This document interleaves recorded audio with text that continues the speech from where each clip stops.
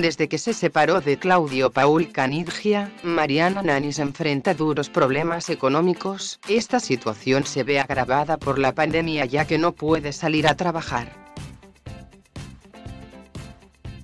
es que, más allá de su separación, la reconocida figura siempre estuvo acostumbrada a vivir entre lujos y el día de hoy no es la excepción. Por eso, la mediática tuvo muchos inconvenientes con su ex marido a causa de los bienes que tenían en común y hasta llegaron a tener problemas judiciales. Esta vez, el problema que se le presenta a Mariana es la abultada deuda que mantiene en relación a las expensas en su departamento en Puerto Madero, según asegura el diario Crónica. La propiedad de la que estamos hablando es el segundo piso de residencias del Hotel Faena, donde actualmente vive Charlotte con su novio.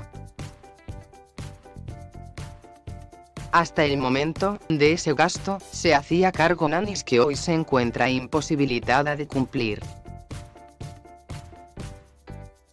Realmente se hace complicado, ya que el monto a pagar por mes de ese servicio es de 50 mil pesos, un valor bastante elevado en relación a muchos edificios y más que nada si te encontras sin tener trabajo, como es el caso de Mariana.